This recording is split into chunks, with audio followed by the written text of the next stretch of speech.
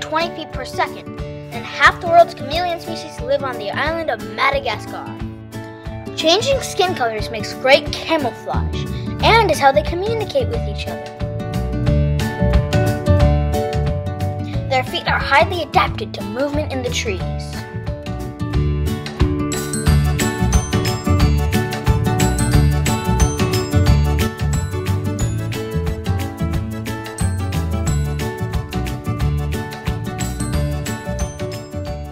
Chameleons are unique creatures.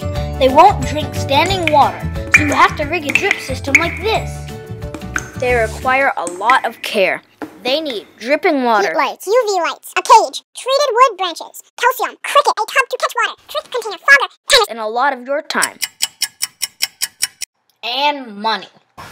And remember, chameleons are amazing. so are you. Glory, you hurt. Oh no. Clicking the picture in the corner of your screen.